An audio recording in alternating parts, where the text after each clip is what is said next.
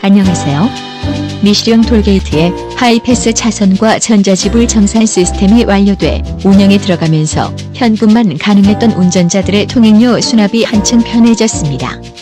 하지만 하이패스의 구조상 지역 주민의 차량을 식별하고 할인을 적용하는 정산 시스템 구축이 어려워 하이패스 차선을 이용하는 지역 주민은 감면 혜택을 받을 수 없습니다.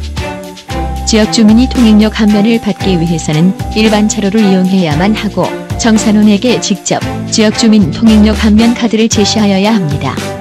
미시령 터널 통행료 감면 혜택을 받는 지역 주민은 미시령 톨게이트 통과 시 일반 차로를 이용해 주시고 다소 불편하더라도 많은 이해와 협조를 바랍니다. 감사합니다.